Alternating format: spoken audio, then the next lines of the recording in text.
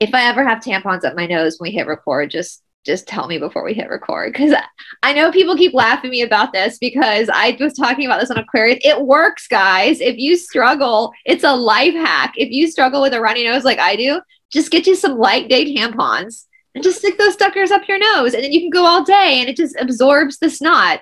You know, it's great. And I, I told Emmy I almost let her in, and I had to like quickly pull that. I was like, oh shit. So, so my friends do have to tell me that if that ever happens, they need to remind me before we actually hit record. So, mm. all right, you guys. I'm super excited today. Of course, we are missing Stephanie today. She had a busy schedule, and so she will not be joining us today. So, Emmy and I thought that we would take this time to talk about the yoga course that's coming up since Stephanie's not going to be joining us today and to talk about Emmy's experiences with traditional yoga because I think most of you know Emmy is incorporated into this yoga course with her Reiki. And for those who don't know Emmy, um, I'm assuming everybody does at this point. She's holistic genie. I will I will put links to her channel down in the description box below as well because she's a lot of great stuff on her channel. And um, and I am incorporating Emmy into this yoga course uh, with two Reiki sessions per student, um, mainly so that the students themselves can have an experience outside of the philosophy of yoga where they can actually tap into and feel the energy that we're going to be talking about in the course in the yoga philosophy. But before we get into that, let me just give some details about this course, guys. There will be a link to register down in the description box below. Let me just go through a walkthrough. So, this um, course is designed for those new to yoga. Oh, why can't I move this? I'm so, hold on one second, guys. It's not letting me. Oh, here we go. Okay. This course is designed for those new to yoga or those who want to branch up. Branch, I need to, obviously, I need to do some editing on this, brush out on the ancient philosophy taught but through the practice of yoga. This is a four week uh, online learning modality designed for all levels. So, whether you're a beginner to the yoga experience or you've been doing it for a while and you just realize that you maybe need a deeper understanding in the philosophy of why we do what we do, this course is great for anybody, really. Um, this course will be taught by KPJAY authorized teacher, me, and will also include two private sessions with Reiki practitioner, Emmy, which is the beautiful lady on my screen with me. So this course is going to start on Sunday, November 20th, 2022 at 2 p.m. Eastern time. And I've done it at 2 p.m. because I feel like that's a relatively good time for everybody's time zone. So wherever you are, I know England is five hours ahead of us, so that would be like 7 p.m. for you. Mm-hmm. Um, I felt like that was good for most people to be able to sign in. Just know it is Eastern time, so we are going to be at 2 p.m. our time on the East Coast, not your time where you're where you're living, unless you are living on the East Coast. The Sunday class will be for two hours from two to four each Sunday, ending on Sunday, December 11th. So December 11th will be the last class of this course. Um, during this two hour class, you will go deep into the Yoga Sutras of Patanjali. We're going to look at the first two um, padas of the Yoga Sutras of Patanjali, as well as review the chakra system and the Ayurvedic dosha system. So we're going to do worksheets on so you guys have a better understanding individually of your own doshas because that is going to inform your practice. Each student will receive an online PDF manual the evening before the, the start of the course, along with a Zoom link, Zoom link for the day of the course. But before the course starts, you will be required to purchase Sri Swami Satchidananda's commentary on the Yoga Sutras. That's the commentary we're going to be using for this course. There are a lot of great commentaries out there. I have multiple copies myself. Ram Dass has one, Desikachar has one, Iyengar has one.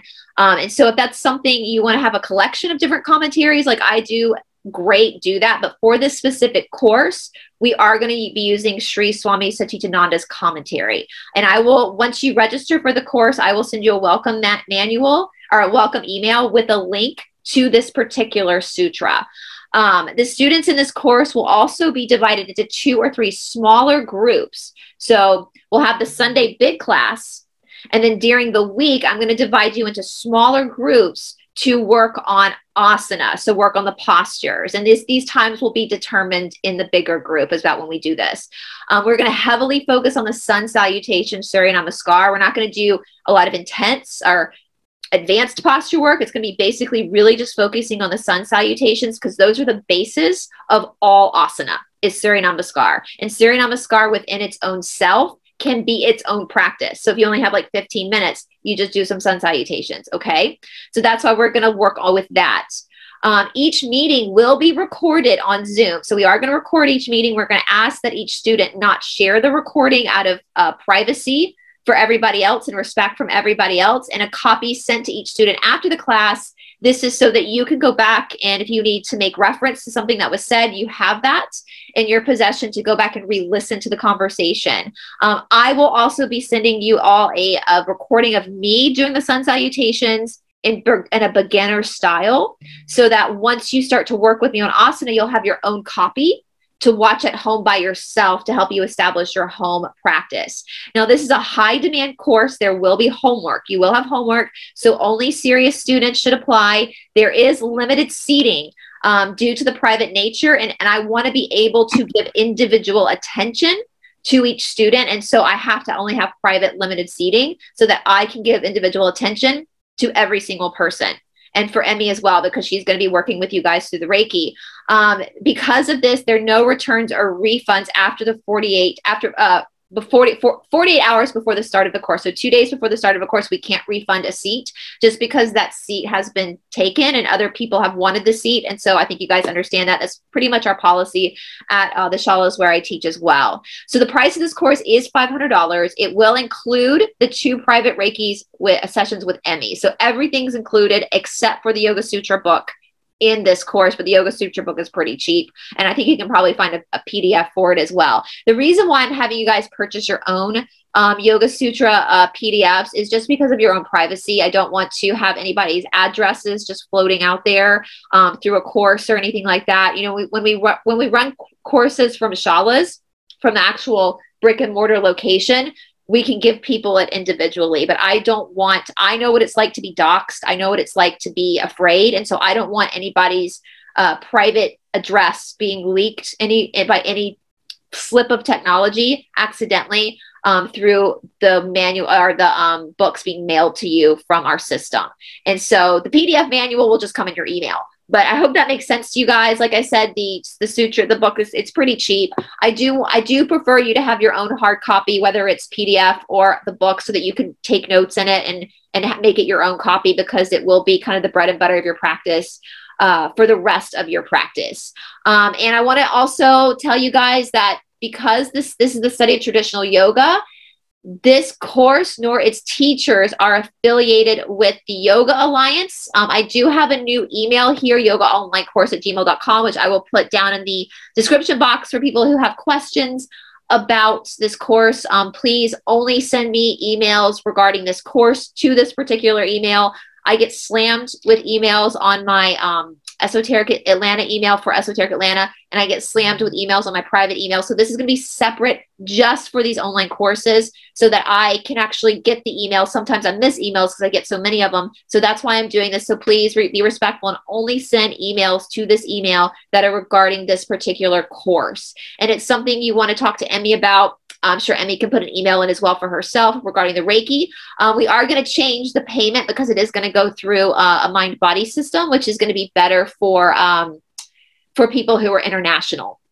Okay, so let me just recap that again with this course. You're going to get four Sunday two hour courses, 2 to 4 p.m. Eastern Time, where we're going to go through uh, yoga philosophy discussion. You can ask as many questions as you want. We're going to go through the chakra system, the bandha system, the dosha system. Um, we are all, which is it's going to be a lot, guys. You're also going to be assigned homework. You're going to have different readings to do during the week of the Yoga Sutras to then journal about so that we can discuss it the next week um, in further detail. And you will have during the week a couple of private uh, group, semi private asana, so posture work practices with me so spe- specifically and you will get a video of me doing the sun salutations to help you the days you're not with me to do your own practice and i am going to require you to do your at least the sun salutations four or five days a week during this course to really get the benefit of the practice. And then, of course, you're going to have two sessions with Emmy to be booked with Emmy. These two sessions don't have to necessarily fall in line of the four week modality. They will be available. You've paid for them, so they will be available to you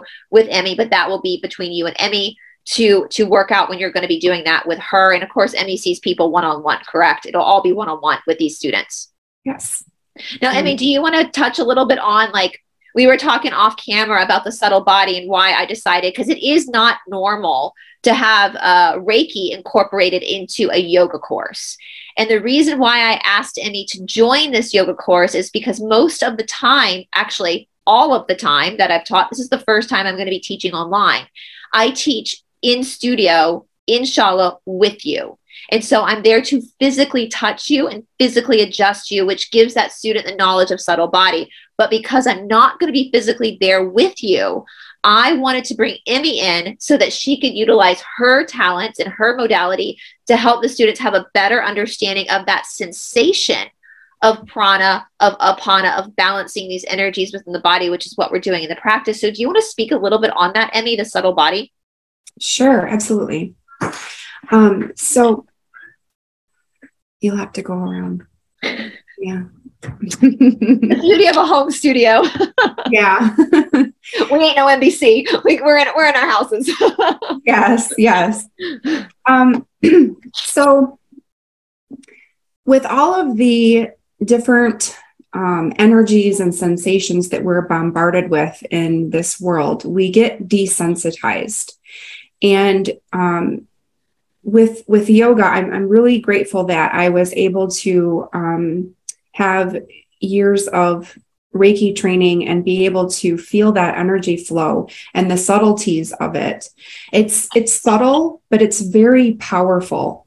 And the more that you can disconnect yourself from these um, frequencies and different things that we're bombarded with, the easier it is that you'll be able to pick up on these these subtle energies. So when you have a, a Reiki session, even though we're not together, um, it works it works through quantum uh, physics. Energy doesn't obey time and space. So with intent and belief, um, we are able to send and receive energies with each other and when you're laying down and you have no other interruptions or distractions and you're in a completely relaxed state, you're able to feel this flow. And it's really important to understand what it feels like because when you're practicing yoga, if you don't know what that feels like, you'll miss it. You'll miss it. And Ashtanga is so intense and so rigorous that if you aren't aware of the true nature of it and the importance of it that underlies, which is the energy flow, um, it's it's just it it would completely remove the spirituality of it, and it would just be a physical movement, which completely um, bypasses the importance of it and the, the sacredness of it and the changes that can happen with you spiritually. Um, so I've done yoga before in the past, definitely not like this. Um, so I just noticed that in the thick of practicing because I'm aware of energy and its flow from practicing Reiki for, for a number of years, I can pick up on that in my practice. And I tell you what, guys, if you can pick up on this subtlety and continue your practice as difficult as it is, and your ego and your mind is going to get right in there and say, you know, oh, this doesn't feel good, or this hurts, or I can't do anymore, or I feel like I have no more strength, or I'm going to collapse on my mat. If you can get past that and overcome the artful dodger, what um, Brice talks about, if you can overcome that, if you can notice it, be aware of it, and overcome that, and focus on the subtle flow of energies, um, it is so incredibly profound. Like I don't think I've been as devoted to something um, like my yoga practice. And and I just recommitted uh, less than a no, yeah, less than three weeks ago. I just recommitted myself to this.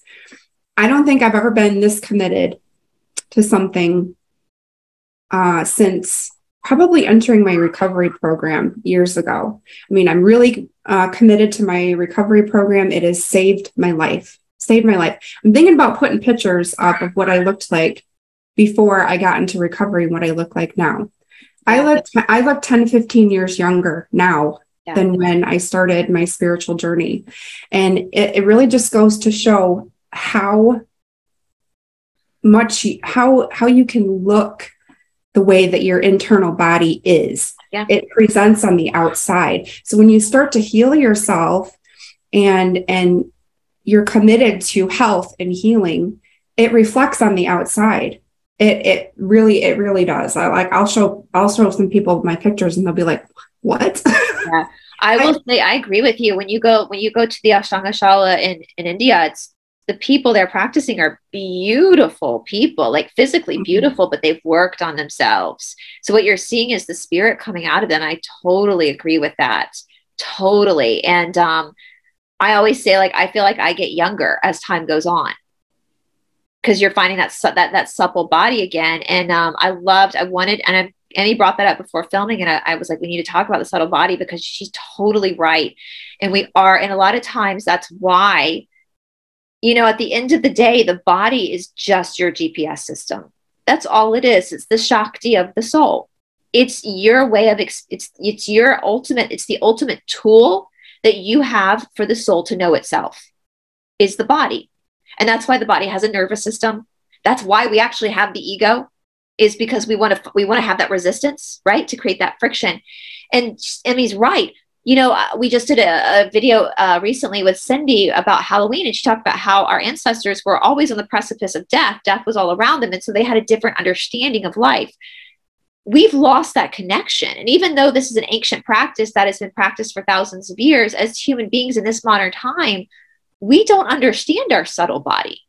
You know, and first of all, we've been told as women that are, you know, if we're intuitive, that we're crazy and so we stop listening to our intuition we stop we disconnect we we we jam our our feet into stiletto shoes to make our legs look a certain way you know we do all these things that all of a sudden we just start more and more and more and more and more we disconnect from our own body and the asana practice or the posture practice is designed as such because the only sensation we we kind of feel when we come into yoga is the gross body.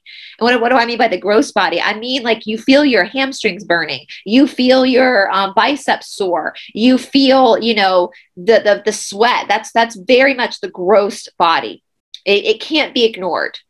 But then the more you lean into the gross body sensation over time, the more you start to recognize the subtle body and the subtle body is where the information really lies. And no one, that's your special power as a student. No one's going to understand your subtle body better than you because you're the one experiencing it. It's there to give you information. And Emmy, let's, uh, I want to talk to you about, you were talking about the profound, it is discipline. It is, this practice is and I want to kind of dispel something. We have in the Western world, we think that yoga teachers are sweet and nice and they're just going to read poetry to us and dim the lights and rub our shoulders and we're going to go to yoga to relax. If you're going to mm-hmm. yoga to relax, you're not going to a yoga class. Yoga and relaxation are not the same thing, are not the same thing. There's no relaxation in yoga. My opinion, where this got kind of manipulated, is that the more you practice yoga, the more you're able to be calm in situations that are stressful. You're able to relax into the unknown psychologically. It's not, though, about you going to like lay on a mat with a bolster under your legs and just listen to Enya music. Mm-hmm. That might be great to do five minutes before bed, but that's not yoga. That's not yoga. Yoga is a, is is designed to break you. That's its design is to break you the yoga teacher, the traditional, I mean, my friend Cindy and I were talking about this at her mystery school, her shala on Sunday where I teach. Traditional yoga teachers in India are not, are not nice people. They're not nice people. They're not mean, but they're very blunt. The, my, my, my teacher in India, the Param Guru, he doesn't read me poetry. He just says, why fearing? You do, you go. You do, now, do. Back bend, now, Reach, go back now. Do, you do. Why fearing? Do. Why belly coming? You only one meal a day. You know, like that's kind of how they talk to you. And you, you, you, that's what you've signed up for. You signed up to change. You didn't sign up to be coddled. You signed up to heal yourself. And so, um, And that's where the discipline comes. And it's so funny. I actually laughed when I got your text this morning, Emmy, because I've been there so many times. And when you sent me this text, I was like, oh, girl, I have been there. I have so been there. The pain is unbelievable that comes up out of your body. It's hard to explain it to people who don't practice yoga. And that's uh, I was talking this morning to somebody else about this. Like, if you're coming to Ashtanga yoga just for the physical exercise, and that's because it'll give you a good body for sure, it will give you a good body. But if that's why your only reason why you're coming to Ashtanga, what's the point? There are other workouts that will give you a good body that are not going to put you through the hell that Ashtanga yoga is going to put you through. It's very spiritual in that sense. And, mm-hmm. you know, it's like we have to have, we have to have this friction. And that's what you're feeling. That pain is that friction is that resistance. So what did you text me this morning? I mean, let's let's let's talk about this because I was like, this is perfect. I I need to talk about this with people because Emmy is like experiencing what I, what we've been talking about in Ashtanga. Okay. Let me find it. But I loved it. I love okay. that she brought it up because I was like, this is perfect. Okay. My shoulders and hamstrings and butt hurt so bad I can hardly touch them. It's not joint pain, it's all muscle, ligament, and tendon pain. I couldn't get past Surya Namaskar A and B today. I've never been this sore before or been this sore this long before. Is something else going on? I think I was like, what did I respond? I was like, LOL. Yeah, you're like, that's normal, girl. LOL. Welcome to yoga. and I was laughing so hard because I know what she's talking about. I have been there. I have been, there have been times where I've been standing on my mat where my body hurts so much. And I'm like, if you fucking touch me, like if the teacher comes and adjusts me, I'm gonna like like it would just hurt to even touch my skin. I tell people all the time, I will be I would be in like downward dog and I would see like my teachers. I, I know what my all of my teachers, I could pick their feet out in a lineup. I know what their feet look like by heart. And I would see my teacher's feet coming towards me, and I would have the Jaws theme song in my head. Dun dun dun dun. Dun, dun, dun, because I knew, you know, these these adjustments are not pleasant sometimes. They, we call them cranking for a reason, which is something I'm not going to be able to do on Zoom with you guys is these cranks.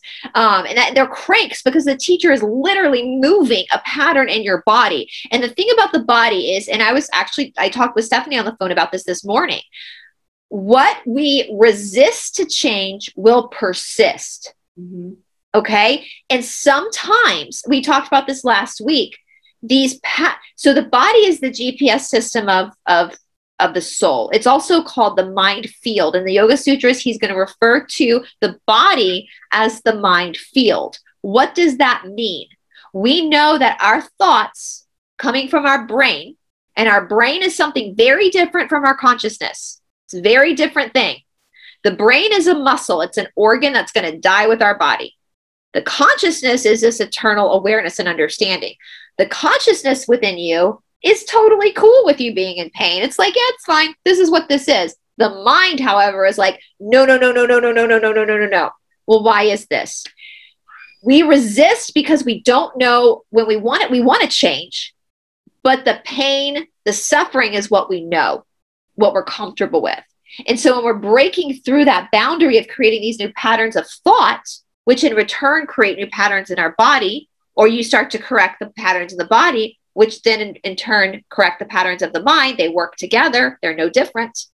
Um, we freak out because we don't know what, what the new thing is going to look like. Even though we want it, we want that unattainable unicorn, we want that, but we understand this. And so we're going to cling on to this because we we know suffering. We know depression. We know anxiety. We understand it. We've we've snuggled with anxiety. We've snuggled with depression. We've it's snuggled familiar. with addiction. It's it's our biggest it's familiar. It's, yeah. It's familiar. It's our lover. It's our favorite lover. And humans, we, we like being the victim because when we become the victim, then we we we don't have to change, right? Mm-hmm. And so we're fighting against ourselves. So that pain you're feeling in your practice, that Emmy's feeling, that I feel, that everyone feels, is that's the friction I'm talking about. You're fighting yourself. Mm-hmm. You're fighting yourself. And let me try, yeah, let me, let me just, let me, because I'm in so much pain right now, let me just share my experience with you so people don't run away when they feel this. Okay. And like Brice, like Brice said earlier, serious students only. This is not something to be undertaken just for someone who, you know, wants a, a, a new exercise routine. Okay. This is a healing path, a spiritual healing path. And your mind, like my mind, is going to tell you to stop oh, you know, I'm gonna, I, you're gonna end up hurting yourself. You're gonna end up having to take time off of work. You're gonna end up having to go to the doctor. You're gonna break your leg. Like, like these things will come through your mind.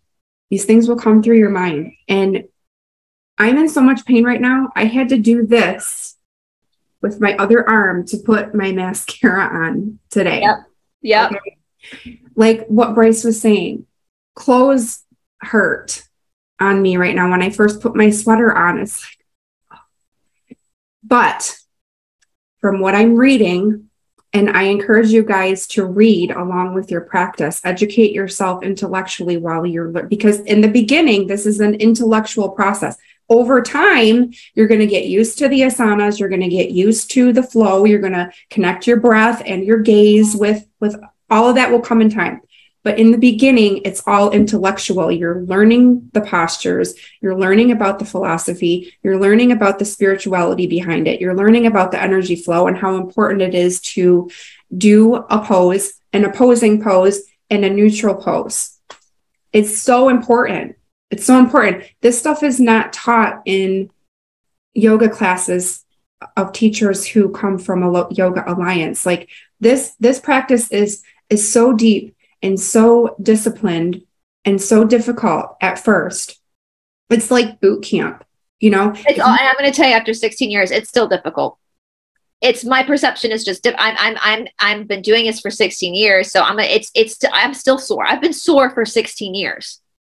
But but we don't want to scare you off because if you are drawn to this, if you are led to this path, then you need to take it. If you're not going to you're not going to be led here for for no reason. Um and and we don't want to scare you away either. We want to no. be completely and totally honest with you about the pain. It fucking hurts okay you guys? It freaking hurts. However i have already noticed benefits stamina you know if you can get through something like this anything else in your life that is thrown at you is not really a big deal Another thing is um, in, increased um, focus and um, the spiritual gifts. I notice when I'm working with Reiki clients, I am more intuitive. I see I'm I'm more clairvoyant. I'm I'm starting to get uh, different uh, spiritual gifts and abilities like um, clairaudience and smelling things. Like I, I for the first time, I, w- I had uh, I was able to smell things during a Reiki session. I'm like, oh, this is new. And this has all happened since I started my yoga practice. And you guys, I am not very coordinated. I do not have the breath down or the gaze or anything. I am still in the very, I'm still very much into in the uh, intellectual part of learning this stuff. And what, you know, once you get past the um, intellectual part and you can and, and this is what i'm reading okay? I don't have experience with this personally yet. This is what i'm reading. Once you get past the intellectual part and you get into the flow and you can activate the bandha the the bandhas like um, Brice was saying and you can combine that with the breath and the gaze it becomes this beautiful meditative flow. And we're going to talk about that because the Ashtanga practice. So, in traditional yoga, we are taught not to do seated meditation. And I'll tell you why. My teacher is very clear on this. You you're not even so the second sutra of the Yoga Sutras is Yoga Chitta Vritti Nirodha. So this basically means that yoga, yoga, chitta is the brain, the mind, the, the muscle, vritti is thoughts, nirodha is nothingness. So what is this telling us? It's saying that you're a slave to your thoughts. And yoga is you not being a slave to your thoughts anymore. You understanding is really saying getting rid of them completely, which we can't do. So what we're doing is we're learning how to, as Pattabhi Jois would say, this is mind controlling capacities. You controlling your own mind, not someone else controlling you. Or not your mind controlling you, but you controlling your own mind, which is why I think the controllers created the Yoga Alliance, is because this this practice is literally the solution to mind control and I'm not going to say the M word on YouTube, but you guys know what we're talking. This is the solution to it because you start to understand the patterns of the brain. Now, I think it's like what 99% of the thoughts we have are on a repetitive loop and we don't even notice them. Mm-hmm. I think I don't know if it's not. It's, there's a percentage there. I'll have to look it up, but this has been studied that most of the thoughts we have, they're subtle thoughts. We don't notice them, and they go in a loop. So what this this tells us is these thoughts that come into the body. Now, if you were to do seated meditation, just close your eyes and just sit there. What would happen is those repetitive thoughts you're not aware of would ingrain deeper into your psyche and cause neurosis, psychosis. It would send you in the opposite direction of the point of yoga. Now, there are exceptions to this, like japa meditation is an exception. What is japa meditation? It's where you have a mala bead and you have a mantra, and you close your eyes and you, you move the beads and you say the mantra. So you're giving your mind stimulation so that it's not clinging to the thoughts. That's what we're doing in the asana practice. So, yes, in the very beginning of this practice, the meditativeness is not going to come until you've gotten through that beginning part of it. But we, uh, I'll, I'll create a, a book list for the course for extended reading, and I'll also put it on my community tab. There's a great book called Yoga Mala. Yoga Mala was written by Guruji, by Pattabhi Jois. And what is malas? Well, that's the mala beads that we see, right? That you use in japa meditation. Well, what's given to us in this book, the information that's given to us is that I've said before, if you're going to a class where the teacher is choreographing the practice, you're not doing traditional yoga and you run the risk of there being an imbalance of energy. So the practice in traditional yoga comes from the Yoga Korunta, which is a thousand, a very old papyrus that has been passed down through the generations, and it has the different series in them. They've been tweaked and changed over time as we tweak and change ourselves. But regardless, this these series, these systems have been very heavily studied. So if you're looking at the primary series, for example, I don't choreograph anything for you. I'm taking from the Yoga Korunta and giving you the prescription. So that's what Emmy is talking about when it's pose, counterpose, neutral, pose, counterpose, neutral, pose, counterpose, neutral, because it's working it systematically like a prescription. And as you're learning the primary series, you don't learn it all at once. You learn it in chunks and you build up to doing the full thing, which could take about 10 years, right? And you have neutral poses you can stop. Well, if we look at the mala beads, if we look at, let's see, do I have, well, I have a bracelet here I can show you that's kind of like, I have malas somewhere we see these little beads, right? Well, in a mala, there's like a string in between them. We all see the string.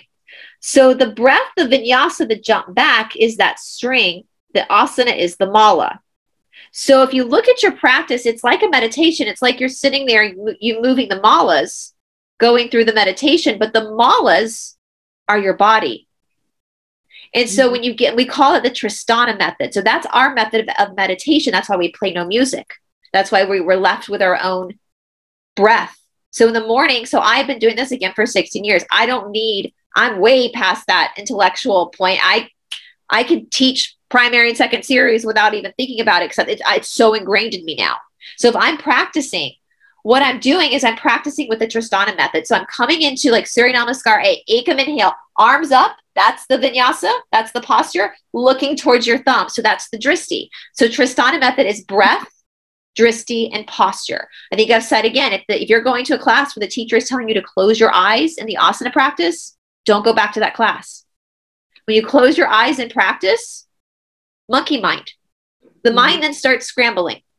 Same when you're looking around the room in a mm-hmm. practice. The mind is now scrambling. The mind is now monkey mind.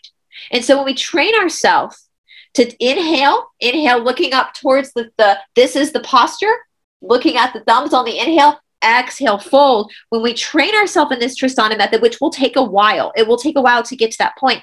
We've now moved into an active meditation. And mm-hmm. we're working with the, we don't want it, we want the breath to be like a runner's breath, which we're going to talk about that in the course, pranayama, what that means, what breathing means. All right. It's not what you think it is when it comes to the asana work, because the breath is also in charge of your heat. We what you need to sweat. If you're not sweating in your yoga practice, you're going too slow. I mean, we have to yell at people all the time in Mysore, speed up, speed up, speed up. What also happens when you when you actually work with the breath and the actual speed, which does take a while to get to that point to really move through the practice. I can do primary series in like an hour now for me. The full primary series, I can do it in an hour. Most students who are just now completing primary series, it'll take them like 90 minutes to do a, an hour and a half. I can do it in an hour because I've been doing it for so long that it just, my body just moves on that train. We call it getting on the train. So after, if you've ever been a runner, runners experience this. They get the runner's high, where all of a sudden they break through this barrier where their mind kind of goes quiet, and they're just present with their breath and present with their feet and present with their body. That's meditation. Mm-hmm. That's what we're looking for in the, in the in the posture practice. So the posture practice is very much your form of meditation, and it's a way you're making these shapes with your body, and you're giving yourself these openings so that the mind, the mind can't move outside of what's happening. It is being forced because you're controlling it now. You're not allowing your mind to control you by doing this practice. You're now saying, I've got you. We're going to be present in the now. And if you've ever read any, if you've ever read any books on spirituality, it's all about being in the now, being in the moment. And nothing psychologically is going to bring you more in the moment than when your body's in pain, right? I mean, oh, yeah. Yeah. Which which you know it, it makes sense to me now that i'm experiencing this. Because i tell you what guys it's not going to be like what you think. It's not going to be like what you think. And I understand why they don't use music because you need sense deprivation in order to be completely present in your body. And with the drishti, the gaze where you're looking, you know, when your hands are above your head you're looking at your your thumbs. When you're in um, forward fold you're looking at the end of your nose. And it's not like you are looking at something. You're looking through. Yes. It's like a it's like direction. A, it's yeah. trajectory. yeah it's like a like a like a lazy gaze. Like like you're looking towards the horizon but you're looking through it. And it it is it brings everything back. If you look at like remember when we were little kids and we'd have to go get the eye exam and they show you how the eye see, sees thing and then flips it back the image. Like we see things upside down and then it flips back to us to bring the information back. How that works. So if you're keeping your eyes focused on where you're gazing, yes, and it's not like you're not staring it down. You're not going to become enlightened by just staring something down. No, it's a, it's a gentle gaze at the nose. It's a gentle gaze over the right shoulder. When you're keeping your eyes moving in that trajectory, what's happening is it's forcing the focus from the exterior to the interior. But when you're looking at someone else, when you're looking around the room or closing your eyes, you're not focused on the exterior. The interior, you're looking at other people in the room. Or you're focusing on music if they're playing yes. music. And music will affect you. And I loved how you said sense deprivation because that's what so we're doing because music will affect your mood. It will affect the way you feel. And right now in the yoga practice, and I love music. I'm a huge music fan. But in my practice, I need to be raw. I don't need anything else. Your practice is already going to affect your emotions. It's already going to affect your senses. So you don't need anything else in there that's going to affect you. You know, you're going to be yelling curse words at the teacher. Trust me. Your yoga teacher is not your friend. They are not there to coddle you. They're there to keep you on on on the on the path. And, and like me, I I can't. I've been yelled at more by yoga teachers than anybody else in my life. Like I'm so used to that. I'm so used to being, and I want that. That's what I want as a, and I want to bring up something too, because this is where I always kind of struggle when I talk about this is because I, I want to show people the practice by giving them videos of people or YouTubes of people watching. I dated myself there, didn't I? VHSs of people practicing yoga of YouTubes, but our Ashtanga. But I also you also are fighting against the ego, and the ego has a place. It does have a place with survival. But I, I really want so many people think that if they don't get the jump back within the first month or within the first year, they failed. That is not the point of this practice, guys. First of all, Ashtanga is one of the hardest physical things you will ever do in your life for everybody who's doing it. people who have, and I said this in one of my recent videos, people who I have a clean practice, I'm aware that I better have a clean practice after 16 years. It took me 16 years to be able to have a clean practice every day, six days a week on the mat. Face planting. I've face planted so many times in this practice. I have dropped so many F bombs in, in a Mysore room. I have smacked my, I broke my sacrum. Like there, I've done it all. I've every, every sloppy, crazy thing that can happen on your yoga mat. I've done it and I lived through it and I kept practicing and I eventually ended up understanding my own body, my body control, my mind control, and that's why I have a clean practice. Now, what I fear though is that people, and you said this last week when we were working privately on me about if I had done this five years ago or whatever, I would have quit. Mm-hmm. I want you guys to understand that the, the majesty of these postures your value as a human being and as a soul has fuck all to do with how strong you are, how flexible you are, what your handstand looks like. The practice that we're giving you is literally your prescription. It's your medicine. It's a tool. So when we look at the asanas, when we look at the posture work, if we're using the posture work in its proper way, as a tool, as a, a, an area of exploration for ourselves, then it's the most important thing you can do. But if you're using the posture work as a way to blow up your ego or show off, it's the least important thing you can do. Does that make oh, sense? Oh yeah. Oh my gosh. My ego has tried to come in so many times because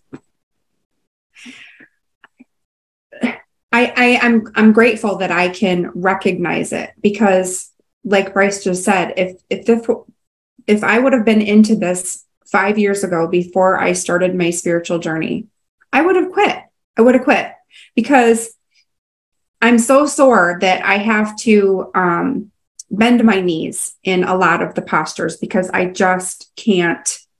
Um, it's just so tight and so sore. So I, I have to slightly modify in order to, to do it at all that's where my ego comes in. It's like, no, I, I need to do this posture perfectly. And I, I would have either um, straightened my legs, hurting myself, or I would have just quit and like, this is too hard. I can't do this. I've done insanity. I've done that stupid workout, and, and I call it stupid because it is so hard on your joints. Uh, I've done that twice for probably two to three months at a time. Ashtanga yoga is more difficult. I don't know if any of you guys have ever tried that workout insanity, but it, I mean, it's properly named. I, well, the difference between the, you know, like we there's an there's an intelligence in this practice, and that's why it takes you know you're not going to learn how to be a teacher in 200 hours in a 200 hour course. It takes, I mean, Pattabhi Jois is very strict about this. You're a beginner in Ashtanga Yoga for the first 10 years of your practice, for the first 10 years, which I think is incredible because at a beginner's mind, there are multiple possibilities, right? And so it takes the pressure off too. You yes. know, so grateful for that. And so, and as as an authorized teacher, I'm authorized. You know, Sharath, you don't apply to be authorized. They just he just grants it to you. It's a, considered a blessing. And the day I got authorized, I was practicing in the Mysore room, and he came up to my mat. He was like, "You come to my office three o'clock." I was like, "Oh shit, what do I do?" You know, like, "Am I in trouble? What did I do?" And that was my authorization. You know, and it was it was no, it was like you you go teach now. I want you, and so he's watching me practice. He's watching my other that my other teachers are filling him in on, you know, my Sanskrit, all that kind of stuff. He's seeing my my understanding of what I'm doing on my mat, and then he's assured that I can now help someone else. I can't do the work for you. So, with that being said, if I'm watching a Mysore room and I see a student that's too aggressive in their practice, I my responsibility is to come pull them back and say, you know, in Mysore, the Mysore style, we're not lead classes, the more advanced class. You have to be invited to lead. But Mysore is where you're working on your own. The teacher comes and works with you, and everybody else is on a different place. They come at a different time. And so it's like a private lesson. And, you know, I think a teacher said to me once, I can't remember, I was working on a second series uh, where there's a pinch my right, a posture called Karandavasana. And it's a forearm balance Pincha Mayurasana, and you're up and you have to kick your feet into a padmasana and then you lower down and rest your legs on your forearms balancing and then you have to push yourself back up into that forearm stand. For women this is extremely difficult for women. And, and a lot of times women get help get spotted in this I had done it like 10 times that day because I was bound and determined to be able to do this by myself without a spot. And the teacher was like, What's the point in doing this 10 times? Move on to the next posture. Why are you, why are you, what, you're going to exhaust yourself for this one posture? You're just going to exhaust yourself? No. Try it two or three times, move on to the next posture. You got to be able to come back and practice tomorrow, don't you? So for someone like me who has the propensity, but because I am Vata Pitta, I have that propensity to push too hard in my practice. And that's why we say sometimes that, you know, the three teachers are the teacher, the practice, the injury. Injuries are important in Ashtanga yoga. They're not something to run from or be afraid of. Not one person is going to have a full life of Ashtanga yoga without hurting something at some time. It's just how it is. We could walk down the street and twist our ankle. We could, you know, knock our head on our car. Like that's just that's just what it's that's just being in a body. But what what happens to us with the injury? Of course, we're not going to be stupid. Of course, we're going to try to avoid that at all times. But as David Garrigues would say, sometimes there's karma there. Sometimes it has to happen for you to understand, for you to see, to finally say, oh, okay, I see now. Because the posture didn't hurt you. You hurt yourself in the posture. You know, we look at these postures. There's a posture at the back half of, or the front part of, of primary series, right before the Navasana for the middle, but it's called Marichasana D. And this is technically an advanced posture. And this is one of the postures that people will freaking write blogs about because it's just so intense. It's so intense. You've got your foot in a lotus posture. I have a picture somewhere. It's, I think it's uh, was my profile picture for a long time anyway. Um, but uh, and you bind around, your foot's, foot's bound, you're in Padmasana, you're twisting and you're, you're bound. And that bind for a lot of people will take years to get because it's an advanced posture. It, that's, it's supposed to take years. But let me put it to you this way. Marichasana D, it's not an inanimate object. I can't, I can't hold Marichasana D in my hand like I can this pyramid. And so when we're learning these postures, we're learning them at different stages. It doesn't mean you're not doing the posture. So if you're modifying the posture for whatever reason, whether it's a weakness issue or an injury or whatever, you're still doing the posture in a different variation of it. And there, there's no, and then once you bind, guess what? Then you got to work on catching your wrist. It never ends. There's a niyama called santosha, which means contentment. And you finding that place where you can be content with where you are. We actually see it a lot in Ashtanga. We call it pose, pose chasing where people will get in this idea that if I can just bind in Marichasana D, it's going to be amazing. If I could just jump back, stand, or uh, jump back, jump through, or drop back, stand up, if I could just get to second series, then it'll be awesome.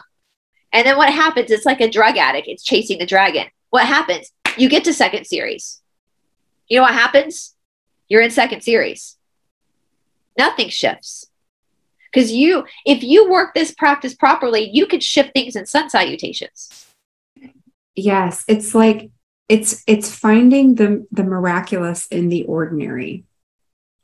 And it it is it is a beautiful thing to feel and and discover. And this is this is new for me. Um, something that I have only felt in the last few weeks. Um, every other um, attempt that I've had at changing my body physically um, has been very much egotistic. And I was exactly the way that you explained. You know, if I can just do this, if I can do this, then it's going to be awesome. Then I'm going to be, you know, golden. No, if you can find the beauty in the messed up, sloppy, floppy way that you're doing the asanas in the beginning, if you can be content in that space, it is a spiritual experience. It, it, it is awesome. It is so profound and so unlike um, any other. Like there, one of the things that I read, and I don't know which book this was in, but it stuck out to me very much. It's yoga is Ashtanga yoga is finding the spiritual through the physical. It's like what Brice was saying your body is the mala bead. Mm-hmm. You are you are practicing meditation using your body as the meditation tool. It's and it's not something that you can get intellectually, I don't think. It's something that you have to experience. You have to experience the flow, experience the energy and the spirituality of it um, to to understand um, what that means and what that feels like. And I guarantee you, well, I can't, I'm not you, so I can't guarantee you, but for me, it did not feel or look like anything that I thought it would. Um, yeah, and that is uh, that is absolutely is it's an experience. It's a spiritual experience, and there is a great. Uh, I'll, I'll I'll if I remember, I'll put it down in the description box. There's a great YouTube from Richard Freeman who is called Yoga Ruins Your Life. And it's this great YouTube and it's in a Mysore. And Richard Freeman's a senior Ashtanga teacher. And he talks about, you know, all the things that change in your life when you start practicing yoga because you start to change. You're you start to, to become a, a better per, better version of yourself. And he says something about the experience. He said you you stop you stop becoming a religious person. You start because you're you're hitting at the experience of what all the great religions are trying to portray. And you're experiencing that on your your yoga mat because it is a spiritual experience. I've said before, I've felt God more on my yoga mat when I'm a hot, sweaty mess and I've got mascara running down my face and my hair looks like Albert Einstein's hair. My pants are on backwards and I'm crying. And I, and I, God has been more present there than any church. I've ever been in because your body is your temple too. It's your it's your place where that Holy Spirit resides. You just have to find it. And this this practice is giving you that opportunity. Every ache and pain you feel is a new pattern that's that's that's that's burning up.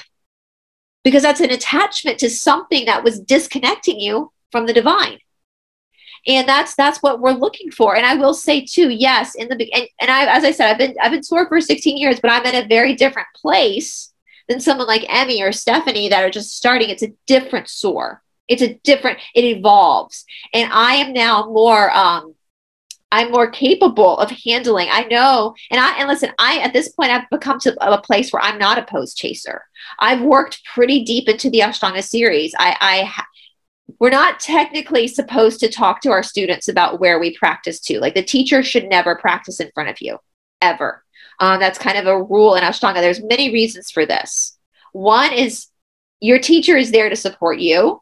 It, if they're authorized, they've made it probably into third series. So they've done a they've they've been doing this. So you can trust that if they're authorized that they've experienced a lot of shit. And so they can so you can trust their words of wisdom when they talk to you. Secondly, is we don't want the, the students to pick up our bad habits even though I have a clean practice, I still have habits. I watch people like Mark Robberds, whom I love, or my friend Mark Garreau, whom I love. They have very clean practices, but I can point their weaknesses out to you. I see their weaknesses. I'm trained to. But so for us as teachers, we don't want for you to watch us practice and then mimic us and pick mm-hmm. up our bad habits. We need you to be raw and find your own new new pathways. I'll tell you a good example. So my teacher Sharath in in uh, India has lower back issues himself, and he does his upward facing dog on the t- on his t- he crunches his toes under. So he's on the front of his foot on his toes, and that releases he, that's specifically for him. Now traditionally, instead of crunching our toes, we want to be totally on the tops of the foot. That's traditional.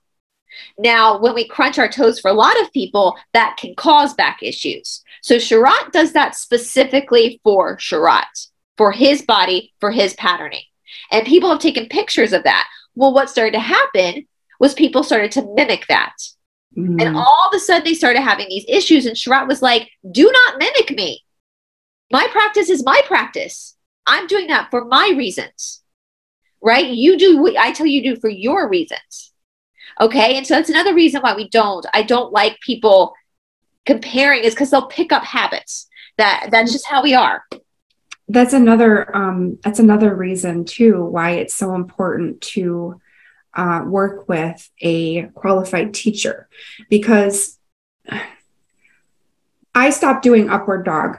My shoulders are very, very weak. And until I strengthen that area, enough so that I don't collapse and over um, overextend my neck and my lower back until I can get the curve in my middle back where it's supposed to be because my shoulders are so incredibly weak and because I have a lot of stiffness in my chest and in my upper back I I modified and you know if, if I would have continued if I would have just been watching yoga videos and mimicking what I see on my screen.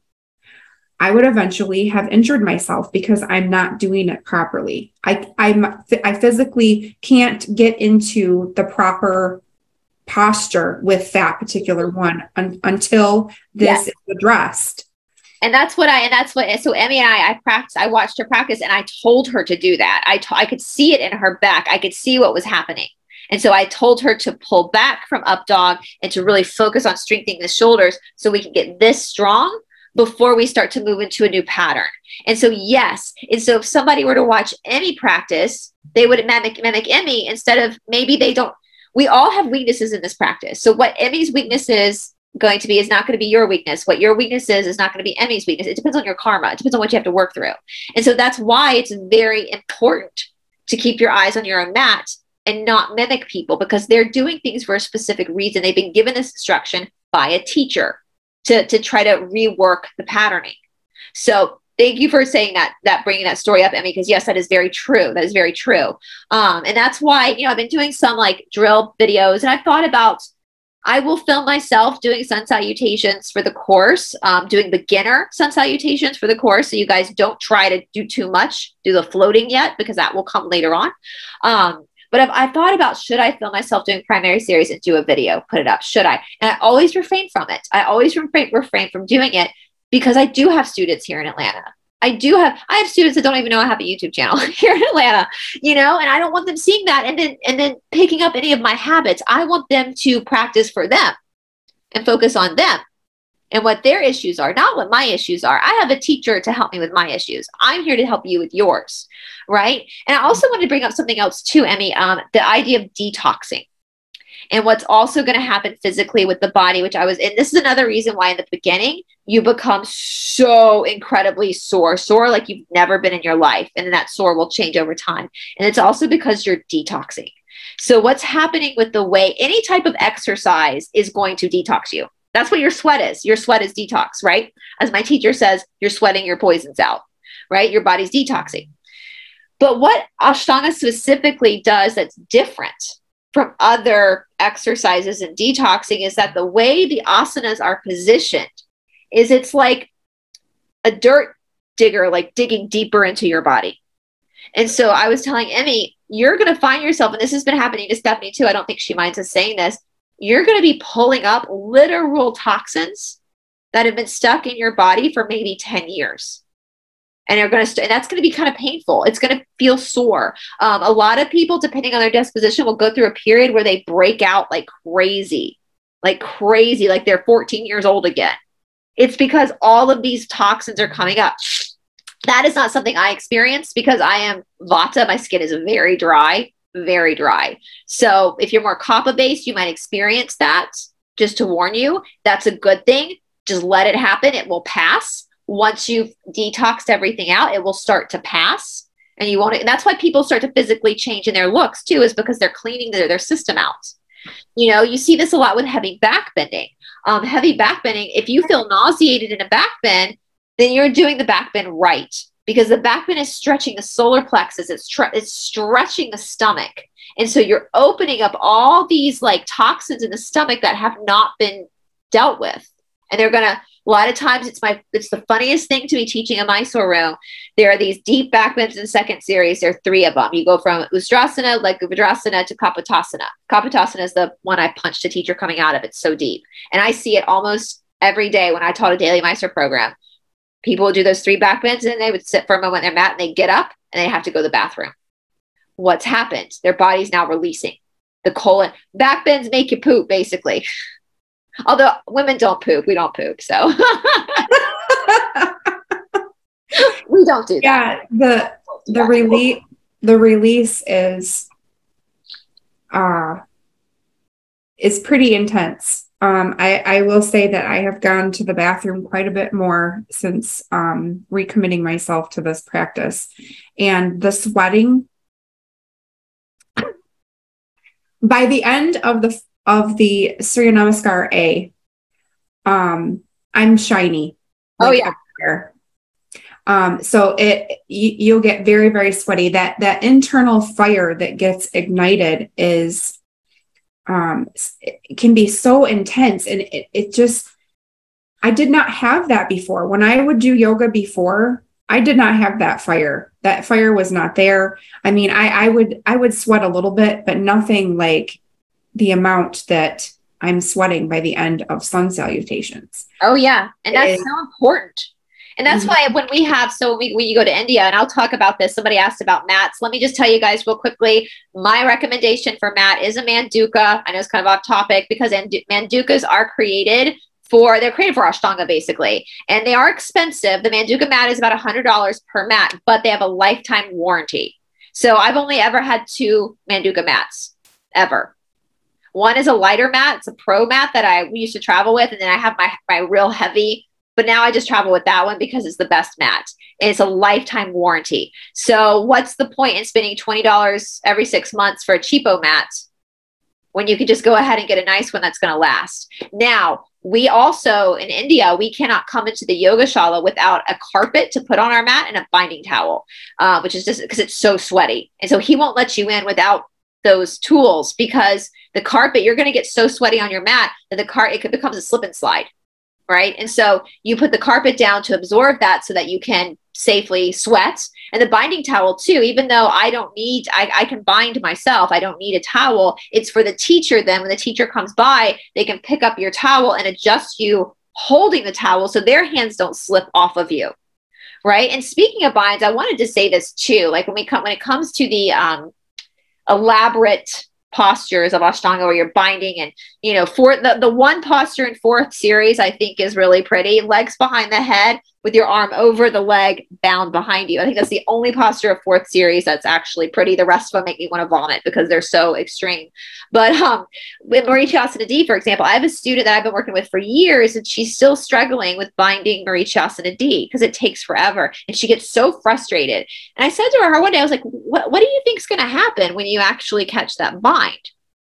Do you think balloons are going to come out of the wall? Like when you catch the bind, all that happens is you caught the bind.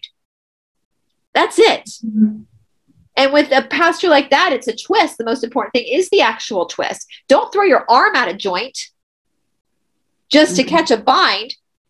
Because if that's what you're doing, then you're not, you know, there's a fine line between pushing yourself to the point of friction and change and overdoing it because of aggression. And that's something you have to play with with the Ashtanga practice.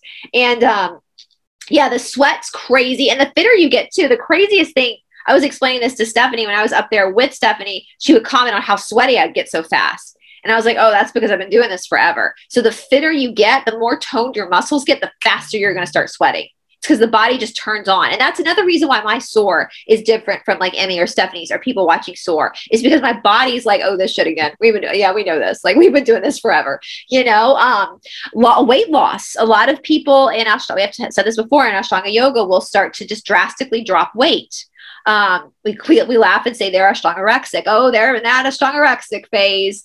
And then it wears off and your body gets used to it. but, um, you know, it, there's so much, there's so much change. And, and, and I will say too, though, the thing about Ashtanga yoga, and I've said this before, is the only flexibility I'm interested in is the, your organ flexibility your organs being able to move. As far as your ligaments and your tendons and your your joints and all that kind of stuff, I don't give a shit how flexible you are. It's more about strength. But something crazy is going to happen. I know this has been happening to Stephanie, and I want to explain this too. You will be practicing, practicing, practicing, making these breakthroughs, going deeper in your forward folds, getting stronger, feeling good. And then one day, all of a sudden, you're going to hit a wall. And all of a sudden, you're going to feel tight and you're going to feel weak and it's not going to just be one practice. It's going to be like a month of you going, you're going to feel like you've stepped, stepped like 10 steps back in the practice. That's normal. That happens all the time, all the time.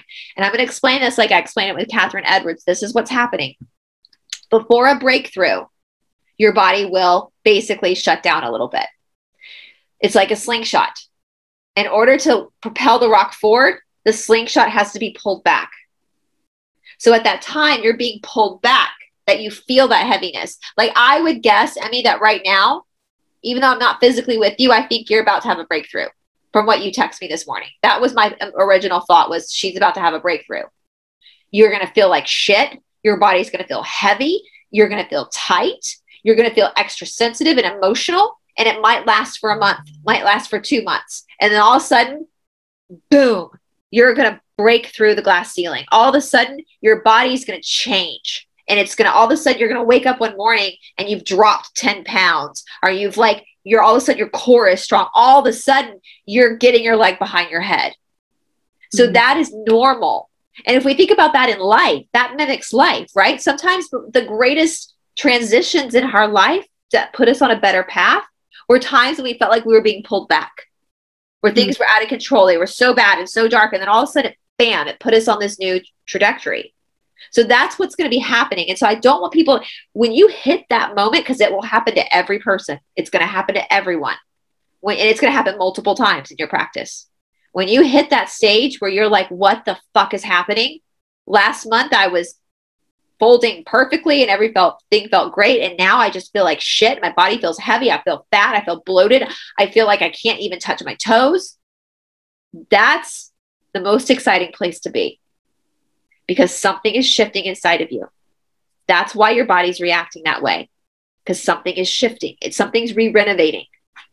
Right? I was laughing with Emmy. Guruji used to say, "New new body is making. New body is making." But he what what what he wouldn't say is old body's got to break first. old body is breaking. Old body is breaking. yeah, old body, but new body is breaking. So when, when you get in that that phase like Emmy is, where you feel, and I I really believe that's what's happening to Emmy right now. The way she described it to me, I was like, oh, she's about to have a breakthrough. Don't if you stop in that moment where you're being pulled back by the slingshots, then the rock's just gonna fall. It's never gonna be shot forward, right?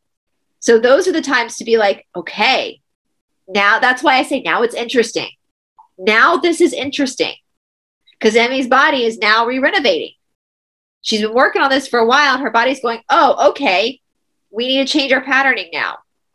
And that patterning will then change the mind, or the mind will, it, uh, it does, it's a tango between the two. It doesn't matter who's leading. And so when she texts me that, I want to be like, I can't wait to see. Now it's going to be a surprise. Month, one month, two month, all of a sudden, tomorrow, all of a sudden, Emmy will get on her mat she might be able to do up dog all of a sudden. She might be able to to catch a, a jump back that she wasn't catching before. And that's why I say now this is where this gets interesting. Because we don't know what's that jack when that jack in the box is going to spring through, but it's going to. And that's exciting. And when that happens, when you go through that evolution, there's also a confidence that starts to happen with you. It's not ego, it's a confidence. You can't feel, feel powerful until you felt powerless. Mm. Yeah, we need the contrast. Yes. Mm-hmm. And nothing is going to make you feel as powerless than Ashtanga yoga. I say that laughing, like nothing's going to make you feel like a, a weak little wet paper towel than Ashtanga yoga. Nothing's going to make you feel like a bigger baby than Ashtanga yoga. But the minute you you kind of have your temper tantrum and you get back on your mat and you just pull forward and you have those breakthroughs and you have those breakthroughs and you see your body changing and you look in the mirror one day, that's okay to look in the mirror and be like, damn, I got a six pack now. Or damn, look at my arms. They're they're toning. It's okay to have that moment of like that's your body showing you that it's receiving the work. Mm-hmm. That's okay. It's okay to have be proud of yourself with that. You know, it's not not why we're doing that. Again, if you're trying to find an exercise to look good in a bathing suit, Zumba is way more fun. and they don't do it at four o'clock in the morning either. So yeah, you know, if you're trying to pick up boys at a bar, you're not going to be, you know, doing this this practice because it's not. It's not. It's gonna. I will tell you guys a funny story though. So I practice usually practice in shorts because the sweat on my legs actually encourages me to get even stronger. That's why I do it now. Before I would have never done that, like it's strong, but that's the place I am now. I'm going to use that sweat now is to get even stronger. And I had taken a picture of Dvipada Shirshasana. So Dvipada Shirshasana is two legs behind the head pose. And I did it as an asana shot. You see it a lot. Your hands in prayer, your legs are behind your head. And I had my shorts on. And I, and I did it as an asana shot, like a picture for, for uh, marketing purposes. And I texted to my one of my best friends who's gay, very, very famously gay. He's an Ashtanga practitioner too. And I was like, what do you think? Should I use this picture? Well, I wasn't thinking because I had little shorts on because I see this, I see crotches in my face all day. So it doesn't even phase me anymore. Like I'm not even thinking about your body in a sexual way as your teacher. I'm thinking about your anatomy. I'm sure Emily's the same way. It, something switches in your brain where all of a sudden you're not even looking at people that way. It's very much atomical. So I wasn't thinking about it. And my friend sent me a text and he was like, if you put, he used the P word. He's like, do not put your P word on the internet. He was like, all I see is your. I was like, he was like, this is not. You're not a madam. Like this is not. you're in the wrong kind of business if you put this out there. Good point. I will put rock pants on and then I will take this picture. So that's just a funny story. Like, you know, and, and like behind the head is easy for me. So it's an easy, and I will say this too with, with yoga teachers who have strong practices. As a yoga teacher, if I'm taking a picture of an asana for, for a poster for any type of, of um, uh, networking or marketing for a shala, I'm not going to take a picture of a posture I'm struggling with for marketing. I'm not going to do that. I'm always going to take a picture of a posture that I'm good with. So when you see these pictures of these asanas, don't judge yourself by that because there is a posture that teacher is struggling with. I mean, I I've said I still I mean back, I probably have one of the best backbending teachers you'll ever meet because I struggle with backbends. So I've had to learn them really intensely. But I'm not gonna. I mean, I put some backbending stuff up, but I'm not t- traditionally ever going to like go to that as my marketing tool. I'm gonna put my leg behind the head, my head, because that's what I'm good at. That's what my body naturally just does, right? So I want you guys to see that practically as well. Practically as well because um, and i will say i have had men who have come into my yoga shala that have tried to show off in front of me and i know what they're doing because i can see it. I've done it all. I've seen it all. There's nothing you can do on your mat that's going to impress me. As my teacher Sharath said i totally agree with him if you want to impress me be a kind person mm-hmm. I don't care what your body can do. I don't give it as long as you're working on yourself. I don't give a shit whether you can do a handstand or not. That means nothing to me. You know how many handstands I've seen in my life? They're a dime a dozen in Ashtanga yoga. Everyone's doing them. Big deal. But can you be a kind person? Can you be the person that gives someone the shirt off your back, that listens to a friend when they're upset? That's impressive. Mm-hmm. Who cares? this this body is just it's a, our bodies are beautiful and they're here to show us things but they're only temporary. So don't put your value into that. It's only temporary. But the way you treat other people the way you make them feel is something that's going to last for an eternity with that person. Yeah. So i want everybody deciding I, I, if you're struggling with that and i understand it can be intimidating to see the physical paralysis of other people Again, they've been doing it for 20 years, 10 years, 20 years. Mm-hmm. And secondly, it doesn't fucking matter anyway. Next life, we'll have new bodies. We're going to have to learn this all over again. Mm-hmm. Yeah? yeah. So that's what's that's what's that's what's important to me as a teacher. As long as you're, I don't care if you can touch your toes. I don't care if you're overweight. That doesn't, if, if these are imbalanced things that we need to work on in your practice, I, as I told Stephanie, when I see people who are overweight, I don't think fat. I immediately think wounded. That's a wound. Someone who's underweight, the same thing. They're wounded. It doesn't matter to me if you have a belly or not. That, that doesn't matter to me. Listen, I think I've said this before in India culturally there women are supposed to be bigger. You know their their bellies hang out of their um oh, my mind's gone blank now. They you know they, they show their bellies off. Women are bigger right? And so for us ashtanga women who come to india we're very thin and fit compared to the culture. I can't tell you how many indian women have told me oh you too skinny. And i've been like thank you so much. Because in our culture it's different. And so when we look at things culturally it doesn't it doesn't matter anyway. We're just trying to find that balance. You know be a, be a kind. I don't i don't care what you look like. I don't care. Um i there are so many trust me there are a lot of flexible assholes out there. I know some of them you know so if you want to be a good person and that's you you can't fail yoga the only way you can fail yoga is if you are still an asshole after practicing right? So I don't want anybody to be intimidated by the the the. the um, Todd says this a lot. I think this is great. There's six series in Ashtanga Yoga, so that everyone is challenged at some point. So most people only stand primary series or get a little to second series. It's rare to see someone practicing into third. Very rare to see somebody into fourth. And so if you feel that struggle, like for Emmy, for Stephanie, their struggles in primary series, that makes them really lucky because they were open enough to allow that struggle to come up early for them. God bless the people who have to get to fourth series before they actually feel something. Could you imagine having to get all the way to fourth series to actually feel friction? And there are there are very few people like that that are very athletic, very you know just grew up dancing, grew up, and so they were able to maneuver through primary, second, third series. They got to fourth series, and all of a sudden they hit that wall that's so unfortunate that they had to get all the way to fourth series to actually feel that resistance. It's like lifting weights. That's resistance training. That's what you're doing with your body. So if you find yourself struggling with sun salutations, amazing.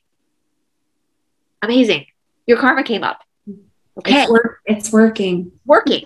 Yeah, and I told you that too, didn't I? I mean, yes. the more, the more pain, pain you're in, the more you can be like, it's working. it's working and with that being said, too, I want to say something else. I know we're going a little bit over hour now, but also for people who are beginning, if you're beginning yoga, now traditionally we do practice six days a week. I always tell my beginner students this it takes three days a week for the body to change. I would push you when you're starting to just do like four days a week. Not, I would push four days, not three, four and then build up and then add that fifth day in and then slowly. So I don't want people to feel like they have to, if they've just never exercised and all of a sudden they just jump into yoga and they're doing it six days a week, you're going to burn yourself out, especially if you're not used to this. Okay. So, um, so that's, you know, as long as you're doing four days a week in the beginning, then over time we'll bump you up to do when you're able to handle it better. Um, we'll, we'll bump you up to six days a week. If you have a fever, don't practice because your body is already creating that heat without the need of asana. So if you have a fever, don't practice. If you're congested, still practice. You might have to change your breathing a little bit, but we can work around that. Um, on your period for women, again, the practice is pranic. So we want to honor the apana. So like the first two or three days, rest. Just let yourself detox and then go back to your practice. If you want to practice on your period, don't do twisting, don't do back bends, and don't do inversions. Just be very gentle with yourself because we have to allow your body to detox. Okay, so we chronically we're pulling up in the practice and your body's trying to pull down during that time. So we want to respect that and allow your body to actually do what it needs to do. Um, you can practice pregnant. Actually, in Ashtanga Yoga, we don't see pregnancy as a disability. It's just something. Um, some of the strongest women I've seen practicing I've been practicing at nine months pregnant and handstands, drop back, stand up. Um, so you can practice pregnant. You'll just have to modify, you'll have to change your twisting. That's it because um, you literally have an obstacle, a literal obstacle in your way. um, so, yeah, is there anything else you want to add, Emmy, to this before we close out? Uh, a couple tips that I did that helped me. Um, about a month before I really committed myself to this, I started getting up um, a half hour to 45 minutes earlier than I normally did, just so I could get used to getting up. Um, I didn't do any yoga practice during that time. I was just up, I was just awake. Um, so there's that. Also, if you've had any surgeries or major injuries, like to your abdominals or your back, um, and your surgeon or physician has recommended wearing uh, a brace during exercise, I found that I've had major abdominal surgery. I had a um, six inch wide by eight inch long hernia both sets of my abdominal muscles were opened up. The only thing separating my guts uh, from the outside was my skin and fat. So I had uh, the hernia repaired and I had muscle reconstruction. So I'm sewn up like a corset. Uh, my uh, surgeon recommended that I always, for the rest of my life, wear a belly brace when I'm exercising so that my muscles have something to push against. I can't wear my belly brace during this practice. It's much too restrictive. I feel like it's suffocating me and it gets in the way. However, I found a solution. I got a bunch of compression tank tops and um, also fabric belly bands that um, you can get for wearing when you're pregnant or right after having a pregnancy so that you can wear your normal pants but still have material there. So I wear a compression tank top and one of those fabric belly bands. And it gives me the same support as my belly brace, but it doesn't get in the way. That's so information too. And, and that's fine, guys. You can, I was telling Emmy, like when she asked me about that, you see people with knee braces all the time. If you need a little extra support um, to hold your body together, that's fine. You see people with the the elbow brace on, and sometimes those braces or that that support can't actually help you in the sense that it's giving you a physical clue to remember to pull in more and to really w- focus on that area where there's the weakness. Because um, the uh, the yoga philosophy is like, oh goody, you had surgery, yay! Now we can explore. Now we can explore.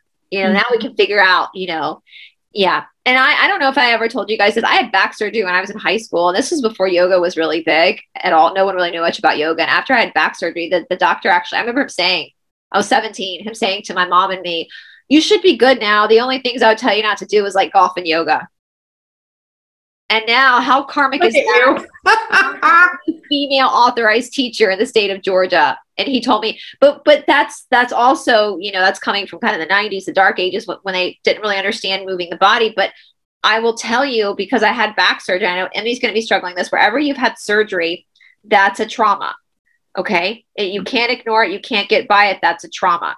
Okay, so we say, all right, karmically, this is an opportunity where things are going to get interesting and that's where your biggest focus is going to be. And that's why backbending for me has been a huge issue.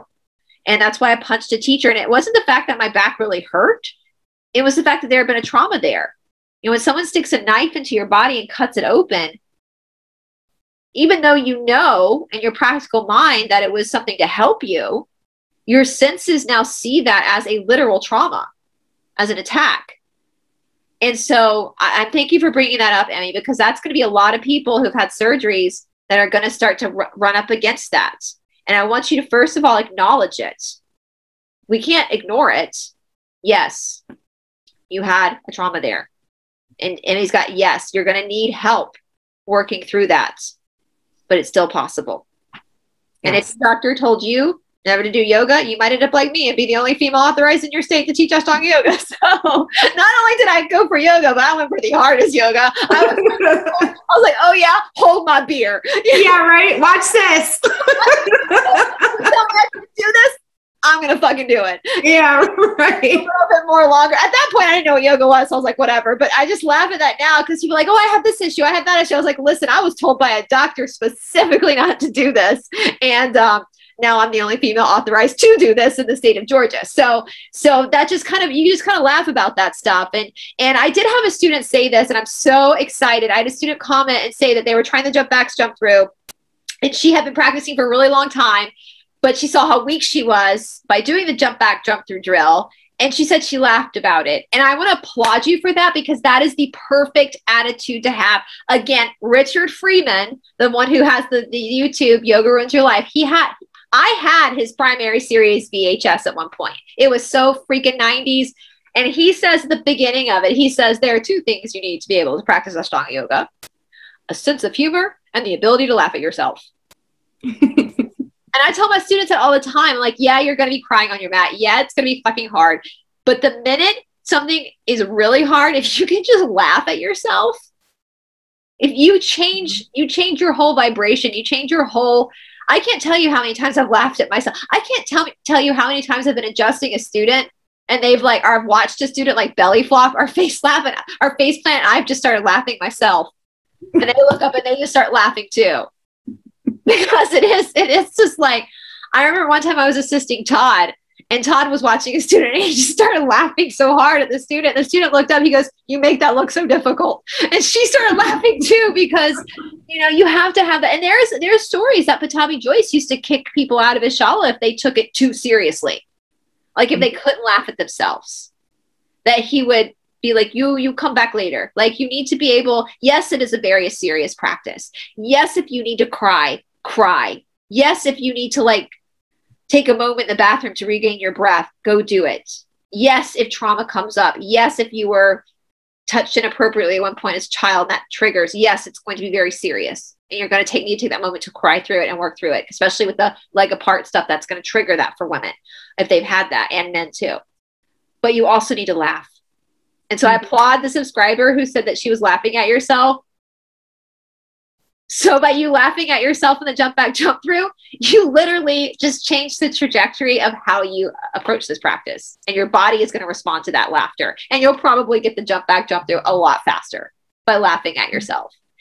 One last story I'll tell you before we sign off. I don't know if I've told this story before. You talked about not being able to breathe in your belly uh, brace. Mm-hmm. So I have big boobs, and me, Steph, and I all have big boobs, all of us, right? And my body's very small for my boob size. That's why uh, Stephanie's husband calls me toast, tits on a stick. And, in my practice, where my boobs were like getting in the way, and I was having to like maneuver them to get into postures. And so I decided, genius that I am, decided I know what I'm going to do. I'm going to go and buy like extra small sports bras and just squeeze my boobs to my chest. So I started doing that. I started like squeezing my boobs to my chest. And a teacher was, it was a male teacher too, was adjusting me one day and he goes, You got two options. You can either bind better or you can breathe. Because my bra was so tight. And so, um, and I will say, jokingly enough, I my boobs have been grabbed more in the Mysore room than they've ever been grabbed in the bedroom. non-sexual way. It's never sexual. It's always like adjustments. I'm like, whatever, whatever. It's just an adjustment, you know. So as long as we can laugh at ourselves as we do this, we're not performers. No one's ever going to pay you to go to Cirque du Soleil. That ship has sailed. You know, you're never gonna. We're not gymnasts. We're not trying to get to the Olympics. We're literally yoga students. You're you're going to a shala to learn. Laugh at yourself, enjoy it, work through it. Um, enjoy the community too that community sport the people you practice with every day you're going to get to know them you're going to share that karma with them you're going to feel their support. Um, in Ashtanga, New York, uh, a documentary about Ashtanga, R- Willem Dafoe, who's a practitioner of Ashtanga Yoga, talks about Mysore morning and the morning practice Mysore. And he says, you know, you're practicing around with all these other people and you don't really know their name. You don't know what they do sometimes, but you know them because you practice with them every morning and you start to feel their energy and you start to share energy with them and you see, you know what they're struggling with. They know what you're struggling with. And there comes a moment where this person you've been practicing with for years that you don't really know, but you do know because you're sharing energy when they all of a sudden nail a posture they've been working working on so long and you feel that happiness for them. You feel that pride in them. And then they feel that for you when all of a sudden you have a breakthrough. And so that community support, support is so important as well with those shalas. And you don't get that in a yoga studio like a vinyasa flow studio because the classes change all the time. But in ashtanga shala you're literally practicing with the same people every day for years. I mean aya is the same students some of the same students for 20 years now you go mm-hmm. through their births, their deaths, their divorces. You see them cry, you see them laugh, you hear them fart. Like it's, it's I still have a hard time with that as a teacher. I'm 39 years old. I don't fart at all. I actually don't. I actually don't. I'm very, I'm not, yeah. But when that happens in the classroom, I still, it still cracks me up. I'm like a 14 year old boy. I still get. Farts are funny. I don't care how old you are. Fun to control, more fun to control. like, I know male teachers who are freaked out by queefing too when that happens, because that happens sometimes too with women. I know that male teachers that will like jump when it happens. There was one April Fool's Day where I was teaching at AY. I was assisting. It was, a, I think it was like a Sunday. It fell on a Sunday because it was one of the busiest Mysores, and it was our Sunday Mysore like midday. It's not early morning and I was I was going to go get their toys at Target, or you get an app on your phone that makes farting sounds. And I had this idea, and I talked to Todd about. it. I was like, "Let's go get one of those fart machines, and let's just start playing it on Sunday." and let's just see if the students start reacting, like if they start looking around the room, or just like every five minutes, let's just we didn't do it, but I, I still want to do that because that it was April Fool's Day, you know, and like you still have to have that, right? You still have to have we're still human beings, right? We're still human beings. We still have to laugh. So, anyway, guys, but I know thanks for sitting throughout this episode with us. Again, if you have any questions about the course or about Reiki, put them in the comment section below um, for Emmy's channel. And if you get any yoga course questions, just just send them to me. If I get any Reiki questions, I'll send them to you on my channel. Um, and the uh, link to register will be in the description box a, a below this video, above the comment section. Um, if you have a trouble seeing it, just hit the down arrow or the, the more button. You go ahead and book um, through through that link. And as soon as you book, you will get a welcome email from me specifically and I will send you all of the information you're going to need for the course. Um, and you're welcome to email me at the email address listed below if you have more questions about the course that you don't want to ask in the comment section that you want to ask privately. If there's something private you want to ask me, totally fine. Um, same with Emmy as well. Emmy, I'll put your email down there as well too. If people have questions for you as well.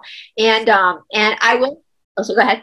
I'd like to, to say um, my email address is associated with my website. My website is under construction right now. So if you and and YouTube will not highlight the entire email. It'll only highlight the um, website portion of my email. So if you click on my email address in the description box, it'll take you to a website that is under construction.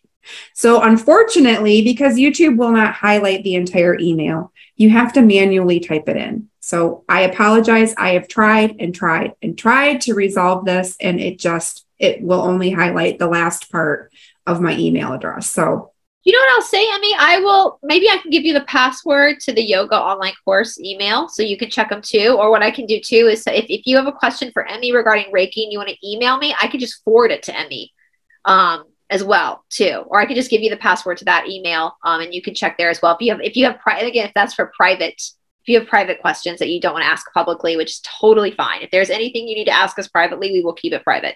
Um, totally fine. So um, also, I'm gonna I might embarrass Emmy here and Stephanie here, but they have volunteered to allow me. I, I work with them on Saturdays. And so they've allowed me to film them teaching so you guys can kind of see uh, what I do when I work with them over Zoom and how I correct them and tell them what to do. And so applaud to Emmy and Stephanie to allow for allowing me to do this. So um so you guys can see. Please don't judge. We're chubby, okay?